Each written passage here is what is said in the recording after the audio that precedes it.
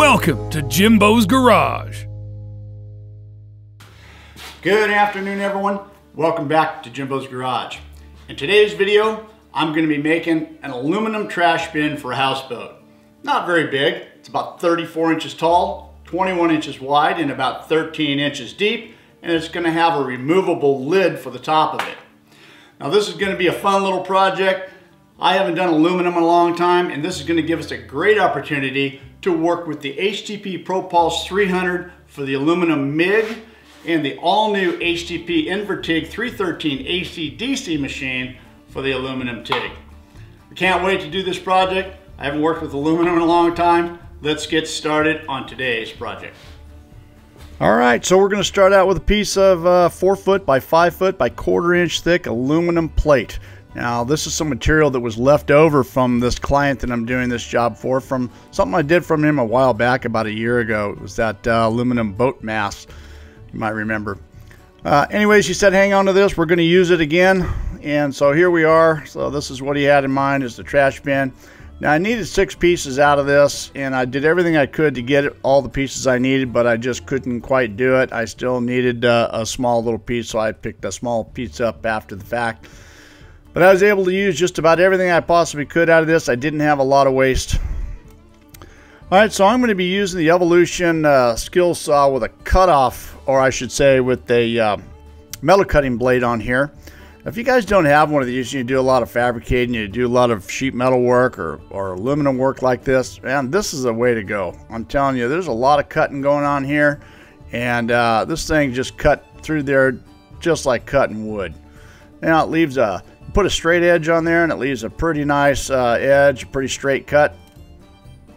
I'm trying to keep everything nice and straight for, for the welding purposes and everything as clean as I can. You know, one thing about it, it, it I tell you, there is a downfall. Uh, so you do a lot of cutting like this, and one thing it does leave is it leaves chips all over the place, and uh, that that is the only downfall. And it is a little noisy. You definitely should be wearing some ear protection when you do this.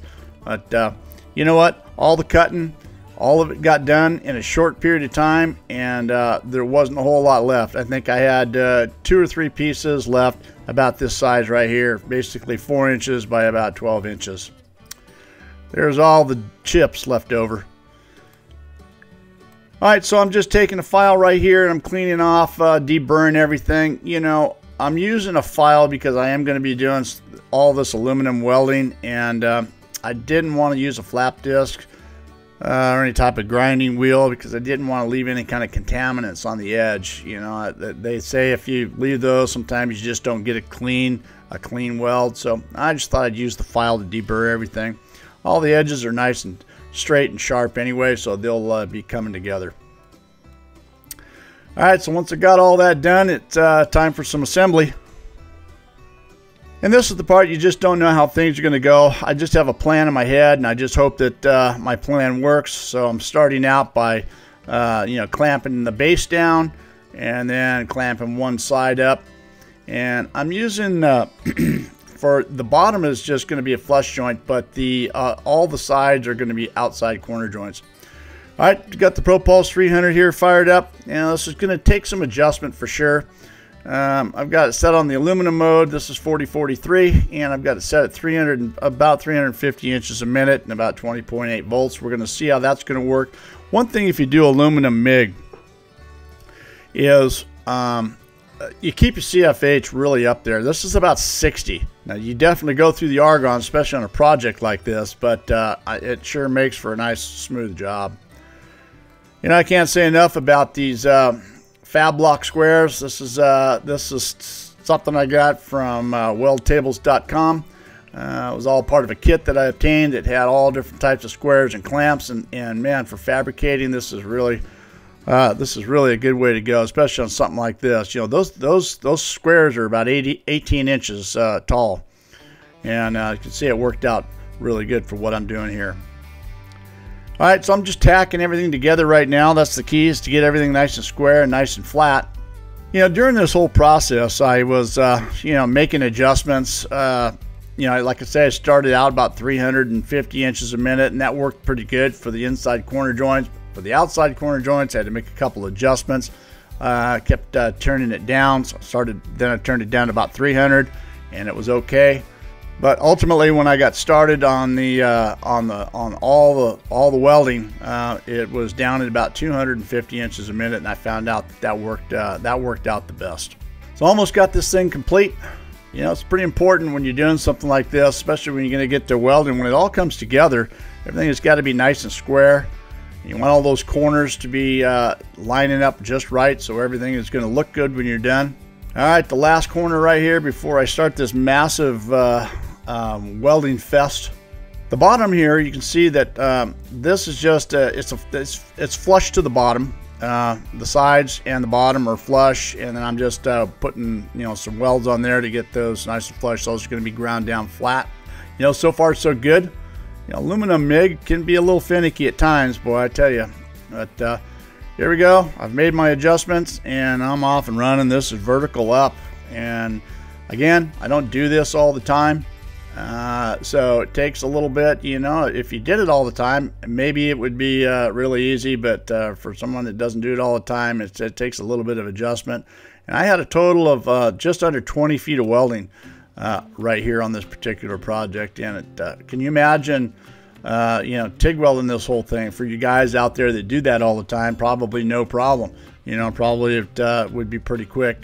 But, you know, this is just like welding, just like MIG welding steel the beauty of it is it's it has its place. Uh, so something a project like this right here, where it sits on your welding table, because this this has a uh, eight foot gun lead, and you can't really go much farther than uh, the welding table. So for something like this, that works good for that. If you had something that required a longer reach, maybe you're doing boats or trailers or something like that, that might require a like a push pull gun or a spool gun of some sort, but uh, this is a 26 series torch, eight foot, eight foot lead, and for what I'm using it for right here, it's uh, working out pretty good.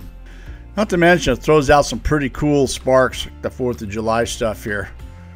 But, uh, kind of fun to work with. That's kind of what it looks like right there. You know, not perfect, but not too bad. Got to remember, all those welds are going to get ground down a little bit later on. All right, so with the box complete, it's time to uh, start working on the lid right here. Now this is some uh, 2 inch by quarter inch flat bar stock, and that's what I'm going to be using for the outside. You know, Champion is a new uh, sponsor to the channel right here, and uh, I'm operating with their new cutoff wheel right here, and I got to tell you, uh, this thing is razor blade sharp, and I've got a lot of cuts through it so far, and it's still still performing really well. All right, so I know I talked about using uh, the 313 here. Um, I, I kind of changed things up a little bit. Uh, that was my plan from the beginning. Uh, so I'm going to go ahead and I'm, I'm going to do the aluminum MIG for the whole outside, but I am going to use the 221 right here for tack welding everything in place. It's my air-cooled torch. I'm just using uh, just using some like one inch tacks all the way around. This is kind of finicky. I wanted everything to be just right. Uh, with the, with the lid right here. As you can see, there's a lot of clamping going on. And I just want to be sure everything is nice and square. And uh, so that's what I'm using this for.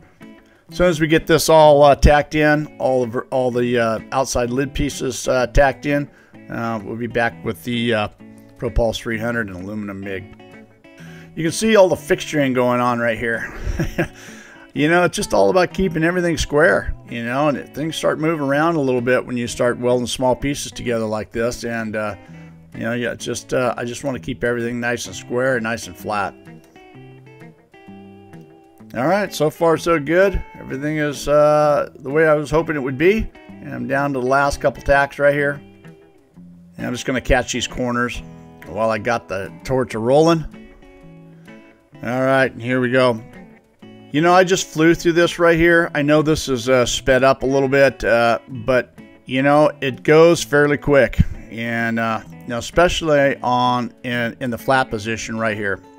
You know, the gun angle is is important. I noticed this is about 10, maybe 10 or 15 degree uh, push in the puddle here, and I noticed the stick out worked well, right at about 5 eighths or three quarters of an inch, somewhere right in there. Um, you know, of course, you figure all this stuff out when you're at the very end of the project. But that seems to uh, that seemed to work the best for me. All right, this is the last little stretch right here, and the lid is complete.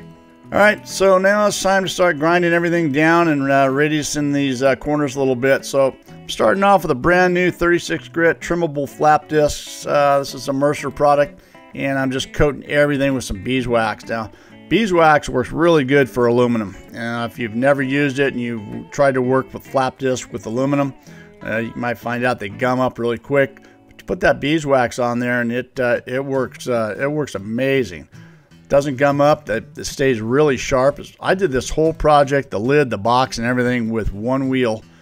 Um, I am going to switch over here in a little bit to a 120 grit wheel uh, for some fine, finer, or fine buffing and, and polishing.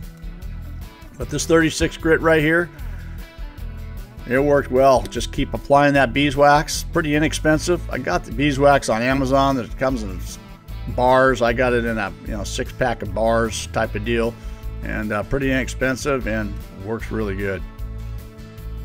All right, so with that done, I'm gonna just grab a uh, ceramic 120 grit flap disc here.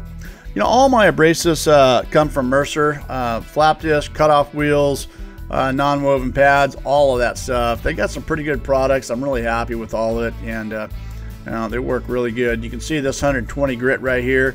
It just buffed up the edges. It's hard to see right here. The aluminum doesn't, you know, it's so bright that uh, it's just really hard to see the finished product. But uh, the 36 grit was roughed in, and this 120 uh, grit came in, polished it off really nice. And when that's all done, uh, I just come back with a non-woven pad and just kind of hit everything, and it just gives it that extra smooth polishing. You know, this is going to get sandblasted uh, primed and powder coated. So I'm not too worried about any of the scratches that may be on it. All that's going to get covered. That uh, this non-woven pad right here uh, does a real good, really good job just smooth, smoothing off any of the sharp edges that might be that might be left over. All right, so one thing left is that's to get the handle put on the lid right here. And this is a piece of three-quarter inch uh, aluminum round bar stock. And so I was trying to figure out the, the right length right there. And I think I, uh, I think I come up with about seven inches is a good length proportionally wise uh, on the handle. I think that's going to look the best. And then for the uh, for the uprights, uh, square cut right here, about two and a half inches long is what I decided to go with. All right, here's an interesting little thing right here. Fab table, fab, fab squares, fab fixture clamps, all of it. This puts me to the test of everything that I had.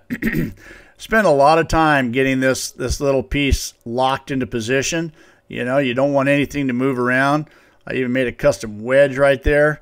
Got some finger clamps. I got a lot going on right there to hold everything in place just for a couple tack welds, uh, initial tack welds right there. Quite a quite a fixturing feat, uh, you might say. It took me took me 30 minutes to figure out how to put it all together, and it only took a couple of tacks and then take it all down.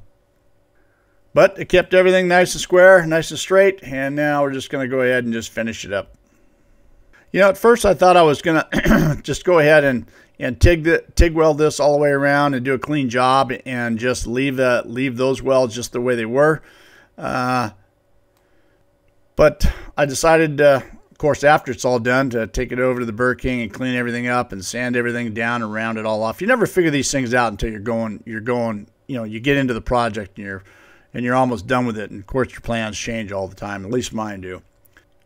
All right, this is my third hand right here. These things are pretty handy to have. Um, I make these things out of all different types types of things. This is I made three or four of this uh, these here a couple years ago, and uh, they come in handy just for these type of uh, uh, projects. Of course, you got to be comfortable, so block yourself up. Everything's blocked up, at least for me. I can't. I'm not that steady, so I got to try to do everything I can to stay as steady as I can. And that's what I'm saying over here to the Burr King. And once I started uh, smoothing things out, I decided, ah, well, I think I'm going to keep going. Ah, well, I may as well just round everything off. All right, it's starting to look pretty good. All right, I'll just keep going. So I'm saying, you know, your plans change as you as you build things. At least they do for me. I'm over the vise and uh, rounding things off, smoothing things up, and I just couldn't stop. I just kept going with all the different sandpapers, all the different emery cloths, getting everything as smooth as I possibly could. The more I did it, the better it looked. All right, so I was I first originally was going to just weld it right to the top, and I thought, you know what? I don't know. This thing's kind of heavy. Maybe what I need to do is just drill some holes in it and kind of recess the handle down in there a little bit. So the first thing I did is found square in both directions. And then drew a little circle right here. And I got my hole saw and drilled the drilled a couple holes in here. Now you'd be thinking that aluminum, no problem, drill right through it. This is quarter inch thick aluminum, but uh, you know, it kept gumming up. But this this stuff, I use this A9 aluminum lubricant and uh, it works pretty good. It helps the cutting for sure. It still gums up a little bit, but uh, it uh, just like any kind of lubricant when you're drilling, uh, it makes things go a little bit smoother. All right, there's the handle that fits in there. All right, time to get everything nice and smooth and flat and square. All right, so this I can't do any kind of grinding or clean with this. So this weld is going to stay just the way it is. So I'm going to take my time and just work work my way around here and leave a, uh, you know a pretty nice a pretty nice weld, at least uh, the best I can do anyway. You know some of you some of these welders out there they can probably go all work their way all the way around in one in one shot. But no, I I it took me four or five times moving things around to get around there. But ultimately, I was pleased with the way it turned out. Yeah, that's a, that's going to be a finished look there. All right, so there it is. It's all finished up. One last thing to do is to just get it on the back side right here. A combination of just filler metal and fusion all the way around, some pretty thick stuff. And I don't think this handle is going to go anywhere.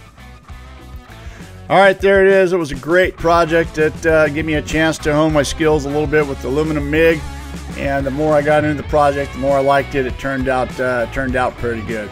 I hope you guys enjoyed watching this video. We'll get this over to the powder coaters and get it cleaned up, show you a finished look. Don't forget to check out my website at jimbosgarage.com. Thanks for watching, guys. We'll see you next week. See you next time on Jimbo's Garage.